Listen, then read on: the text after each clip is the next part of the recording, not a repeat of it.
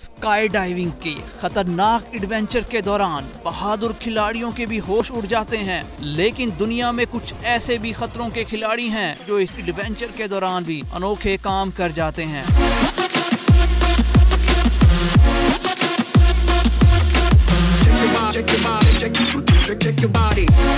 इन sky divers का शुमार भी ऐसे ही खतरों के खिलाड़ियों में किया जा सकता है, जिन्होंने तेरह हज़ार फुट की बुलंदी पर स्काई डाइविंग के दौरान हाथों के ज़रिए टेनिस खेलने का शानदार मुजाहरा कर डाला। दोनों स्काई डाइवर्स की महारत ने इंटरनेट पर धूम मचाई हुई है, जहाँ हज़ारों अफराद इनके एडवेंचर से लुत्फ अंदोज हो रहे हैं।